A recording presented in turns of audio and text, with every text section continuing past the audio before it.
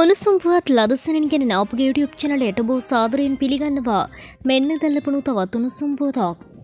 කොළඹ මානකර සභාවේ නකරාධිපති නිල නිවසේ පවිත්‍රතා කටයුතු ගත වූ වසර පහේදී රුපියල් කොටි එකමාරකට අධික මුදලක් වැය කරතැයි තොරතුරු පනතින් කළ ඈදමකට පිළිතුරු වශයෙන් නාගරික ලේකම් කාර්යාලය සඳහන් කර ඇත.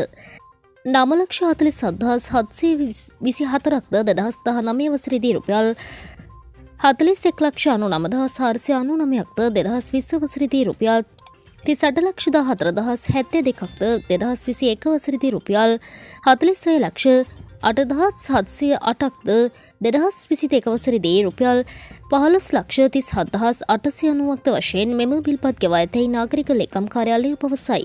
රෝසී සේනානායක මහත්මිය කොළඹ මානගරාධිපති දුරයට පත්වීමෙන් පසුව එහි නිලනිවිසේ පිරිවෑ සම්බන්ධයෙන් කොළඹ මානගර සභාව එක්ස ජාතික පක්ෂයම හිටපු මන්ත්‍රවරුන් සිව් දෙනෙකු විසින් තොරතුරු දැනගැනීමේ අයිතිය පනතෙන් කරුණපු ඇදමකුට පිළිතුරු වශයෙන් මෙම තොරතුරු ලබාදී තිබෙයි. මේ වෙනුම් සුම්පත් ලදසනින් දැන ගැනීමට අපගේ YouTube චනලය සබස්ක්‍රයිබ් කර බෙලයිකනය ක්‍රියාත්මක කරන්න.